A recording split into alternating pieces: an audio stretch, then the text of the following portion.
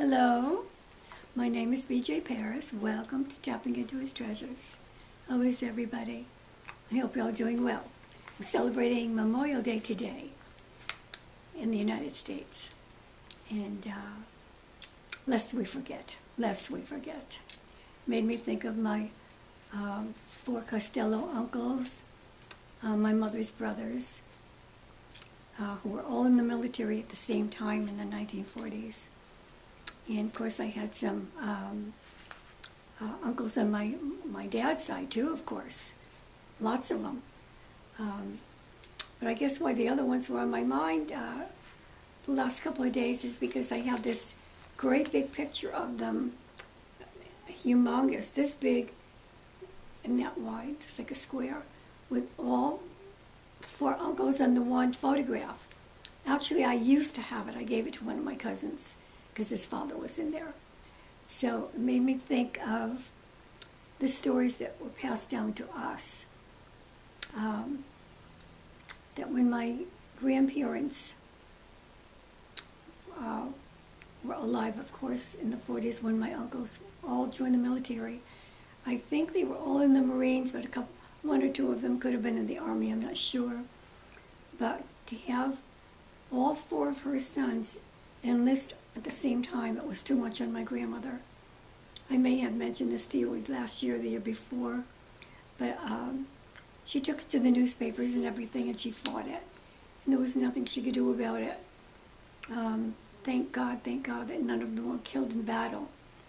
Um, I think it was World War II, if I remember correctly, and none of them were killed, thank God.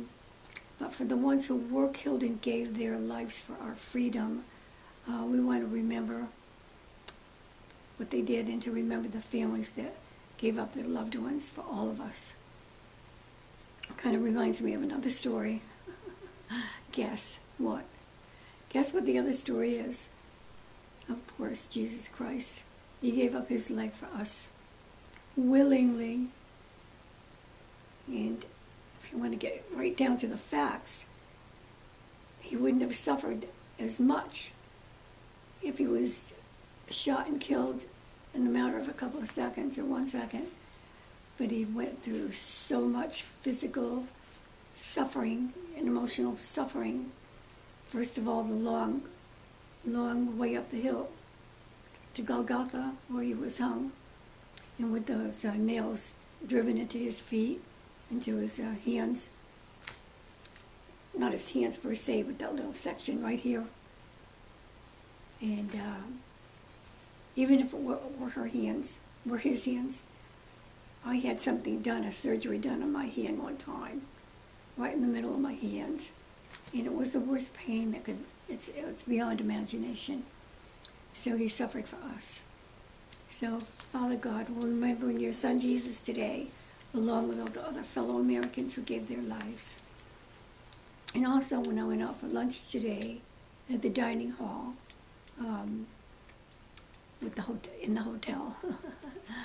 um, I happened to mention to a couple of the guys at the table that I've been really obsessed with the Kennedy videos and the Kennedy movies these last couple of weeks, learning so much about the um, the family, all the family members, not only the Kennedy children, but the grandchildren and the daughters-in-law, sons-in-law, and so forth.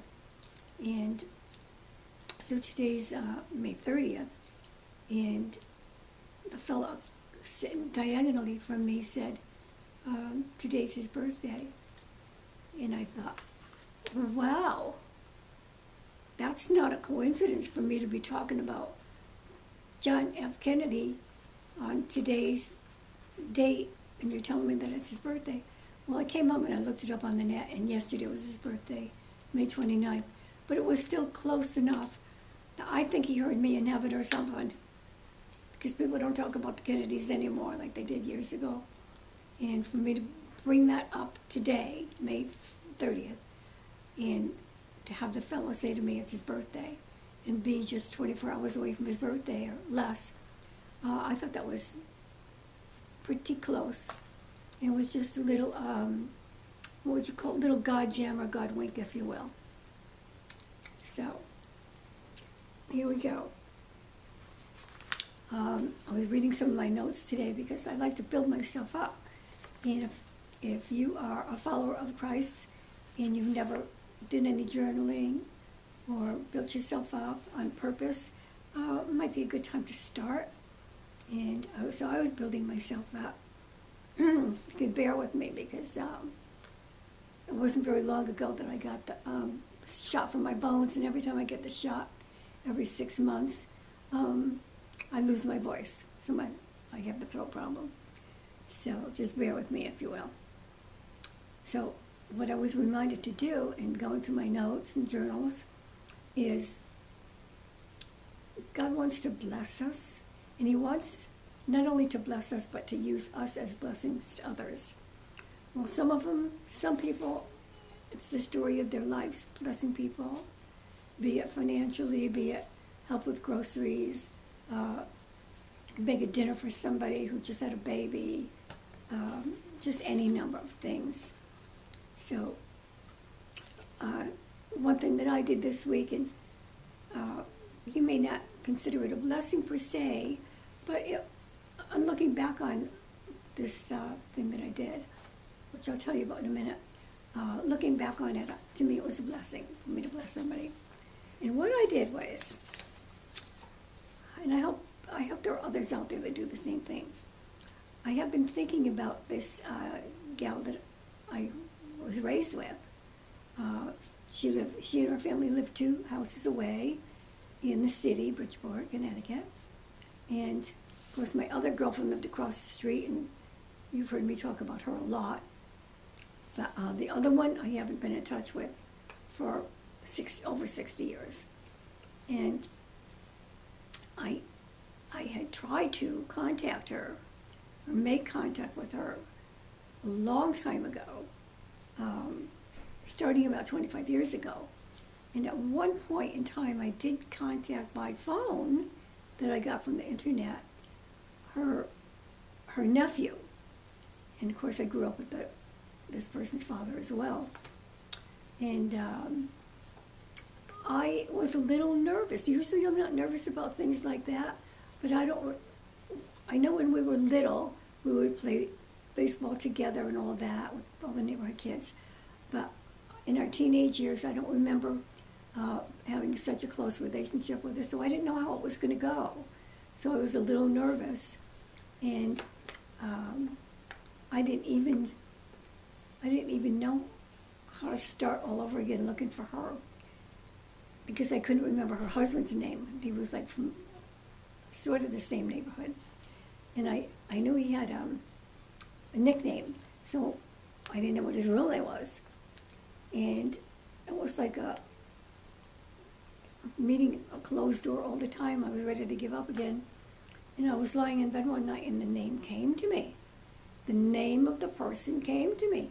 And I'm going like, wow. So I had tried using that name on the search bar of the computer before without any luck. So this time I wrote the name that was given to me while I was lying in bed. And after that I wrote obituary. I wrote the state initials, CT. And then I wrote obituary. Well, sure enough, his obituary showed up, which gave me the other information that I was looking for. And in addition to that other information, his son's name came up with a phone number, not on the obituary, but when I did further, further um, investigating, uh, the son's name came up with the phone number. So I tried to call the phone number and I got the voicemail. Wait to hear this. I got the voicemail, and I'm identifying myself as uh, with my maiden name and telling the person, whoever the phone belonged to, that um, I used to be neighbors with so and so. And all of a sudden, somebody picked up the phone, and this woman's voice on the other end of the phone said, How the hell are you? I think it was the most fantastic greeting I've ever gotten in my life. How the hell are you? And sure enough, it was the person I had been looking for for 25 years. Yeah, so needless to say, we talked for two hours. And I told her who died, who lived on the same street, how many kids this one had and that one had. And I was blessed, and surely she was blessed too. So actually, it was God blessing her. And He just used me as an instrument. And I'm just, I'm just passing that on, hoping that somebody else might try to do the same thing to bring a little bit of joy into somebody's life. It doesn't have to be that extreme, but you know, God will give you something wherever you are, wherever wherever you are as far as comfortability in doing something like that. God will give something uh, precisely for you to bless somebody else. Just get out there. Get out there. Um, you might call, if you're not comfortable doing something like that, you might call that, oh, what book is it in the Bible? Oh, oh. It's when the, it's when Joshua and Caleb went into the, the land to check out the land, remember? And um, they described it to their people as a land of giants. So doing something like this might be a giant to you, but but but these men stood up and they they didn't go by sight. They just did what God told them to do, and they went in the land and uh, investigated the people, what they could find as far as food. Everything they found was very big, was magnified, and uh, any of the food that they had previously eaten, even grapes in a bunch, were all magnified. So to them it was the land of the giants. Well, don't take trying to bless somebody out of this clear blue. Don't don't see that as a giant that you can't capture or take hold of or use to bless somebody. Don't take it. Don't go by sight. Just let God use you. Get out there. Get out there. As a matter of fact, uh, stretching what I just shared into a different area, uh, if you do have a giant that you're fighting, um, that is really and truly a big giant, uh, it may be a situation, uh, don't go by sight. If you have the Lord, don't go by sight. Hold on, hold on. Hi. Hello. Hi, honey. Just checking to see if you had a Yes, I did, honey. Thank you. I'm, I'm chuckling over here because I do a weekly TV show for public Yeah. access. And uh, usually one of the girls comes in while I'm sharing with the audience. Oh, want to be on TV? oh you're oh. Come on, honey. No, that's okay. Tamara's here. Come on, Tamara. Oh. Wave to the audience and the camera. Hi. This is Tamara, my friend. Thank you. Have a nice afternoon. You too. She closed the door. Okay, there she goes. Yeah, they come in, and they pass out. They pass out the um, the menus for the dining room and things like that. I call this the hotel. so she's Tamara. Okay, so we we said don't go by sight. And uh, don't go by sight dash dash. Because God says in His Word, I will go before you and make the crooked places straight. And also, He will fight for you. Well, don't you just love it? Well, Susie Q. I have a note that says Susie Q to tell you about. And I can't remember what it's about. Susie Q. Oh, here it comes. I just read this today online. And um, what do you call that? that it's, it's the, the Bing program online. And they just came back under Copilot or something like that, and it's on everybody's computer. Makes me crazy sometimes. Uh, I'm starting to enjoy it a little bit more, and it's on email now too. So somebody asked if there were spirits at the great at the cemetery uh, on the stones, and somebody wrote this in. It might be for somebody. Um, before we go on, um, this man wrote in to answer that question. He wrote into the whole Facebook audience, or email audience, whatever. And he said, This is something that ha- happened to him. No, it was a woman. It was a woman. And she said that her mother passed away, and both times that she went to visit the, the mother's grave at the cemetery, um, she left the uh, left saying her prayer, talking to her mother, whatever, to get into her car to drive away. And right when she got on the car and started it up, she turned on the radio, and the song that was playing was named Susie Q. I don't I I don't think it's a familiar song to me, but it was it maybe years ago. I don't know. The song playing was Susie Q. And what do you suppose the woman's name was? Sue, Susie. And her mother used to call her Suze. And she just knew that was a sign from her mother.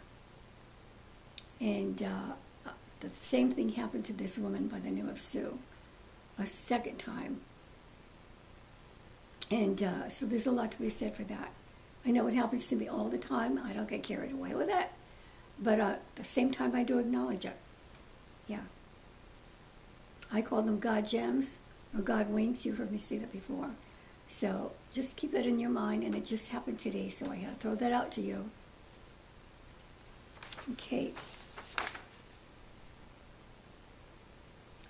Okay, here's another verse for you. I have a couple more later. 2 Corinthians 3.18. And we with our unveiled faces reflect like mirrors the brightness of the Lord. Have you ever thought of yourself as being a reflection of Christ the Lord? Well, you are. If you're one of the Lord's, you definitely are. Right? And uh, from there, I'm going to switch to um, just a couple more pages from the book I was reading to you last time. It's the last book that I wrote. I'm not even going to show you the title of it because uh, I'm not advertising it. We're not supposed to advertise. So I was just reading this this morning for the first time in 25 years, this particular section. And it's toward the very end of the book. And I just thought I'd like to read it to you. Maybe God is calling you to change jobs. It could be anything. Maybe He's calling you. Maybe He wants you to move, move, physically move geographically to follow His call. Maybe you love your job and your initial thoughts after hearing from Him are not good ones, but you quickly make a decision to trust God and to obey Him. Maybe you are part of God's plan and He wants to bring about reconciliation in your life. You never know why God leads us to do things. Maybe you are resisting Him. Maybe you are tempted to hold on to your stubbornness, but the Holy Spirit won't let you have peace and you become cognizant of what the devil is doing in your emotions and you give it up. You ask God to go before you and you bring him glory by following him, by reconciling, if that is the case. And you end up being the recipient of happiness and peace beyond your understanding. Let me stop there for a minute. How many of us have experienced that? We don't want to do something, but when we obey God and we do it, it's all for our benefit. It's all for us and not even for the Father. Okay, to continue. Called out ones have something in common. They are under scrutiny by the Holy Spirit. Don't you just love that? They are under scrutiny by the Holy Spirit because He never leaves us, not for a second. If they are using their eyes, ears, or mouth for something that is not pleasing to God, they experience instant conviction. They recognize God in everything. If something seems coincidental, they know that it is not. No coincidences in God's plan. They know that it is not. They are extremely cognizant of the end times and that sinners need to be saved before Christ comes back they will face an eternity in hell. Called, one, called out ones have a heart for souls and pray frequently for the lost. The word says that when more is given to a person, more is expected of that person. Called out ones expect to make plenty of sacrifices for God's kingdom. Their time is no longer their own. Just like the old country doctors who refused to go home after hours until all their scheduled patients and all the ones who showed up with no appointment, who had to be squeezed in, were all taken care of. You've all seen the old movies. We know that to be true. Called out ones, but all those in need and all the ones God brings to them every day at all hours in front of themselves and minister unceasingly. They give money to the hurting out of their own needs. In return, they are given treasures, large doses, large doses of divine favor, honor, endless storehouses in their soul, storehouses of wisdom and knowledge, storehouses of God's secrets. They are given a keen sensitivity to hear from the Lord, and they possess God's anointing. They are given a tremendous amount of blessings. They are given dreams and visions, which are the ultimate joy in this life. Anyone who has been called out spends an enormous t- amount of time studying. They keep God's principles on their heart. They keep his teaching as the apple of their eye. Proverbs 7 1. You speak excellent and princely things, and the opening of your lips shall be for right things. Proverbs 8 6. How much better to get skillful in godly wisdom than gold? Proverbs 16 16. That I may cause, excuse me, sorry, that I may cause those who love me to inherit true riches, and that I may fill their treasuries. Proverbs 8:21. Called out ones are concerned, as the apostle Paul was in Romans 10:1, that souls might be saved. And like others who have gone before us, we are willing to make fools of ourselves for Christ's sake. If you are a Christian contemplating moving, consider these words that God gave to me. Break up uncultivated ground. Do not sow amongst thorns. Hosea 10:12. And it doesn't have to be moving. It could be anything that God leads you to do.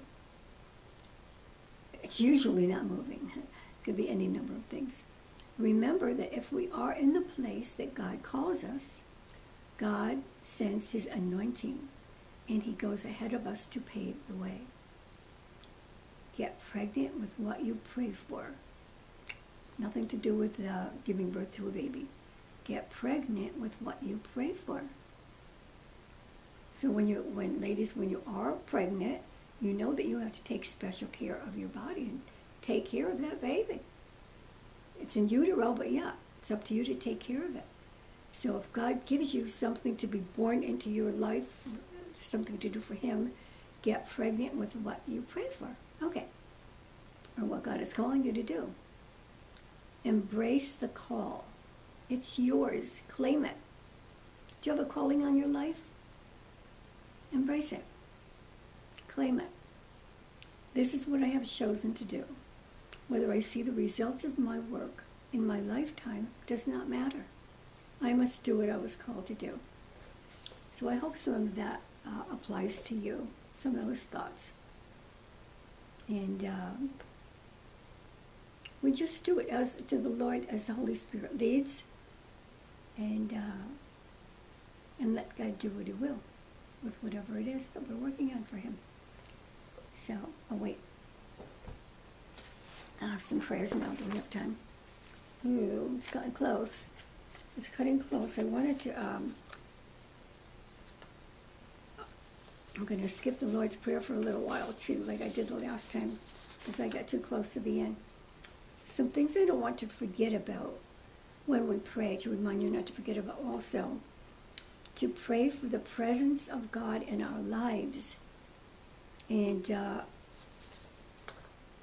I kind of do these things, and we all kind of do these things without, it's almost like our prayers are rehearsed. And I'm guilty of that too sometimes. And I have to be reminded, even if they are my own notes, journaling that's reminding me. And this one I just came across. Pray for the presence of God in our lives. Yes, we know He's there. We know His presence is with us, but to pray for it is something entirely different. So I'm just uh, leaving that with you right now. Uh, to pray for godly attitudes and pray for us to be peaceable so that who's ever looking in at our lives will see that we are peaceable people. So repeat. Pray for godly attitudes and for God to make us peaceable. Pray for God to accelerate things in our lives. Are you praying for something and you're waiting and waiting and nothing's happening? I hear this all the time. I do. I hear it and I read it all the time.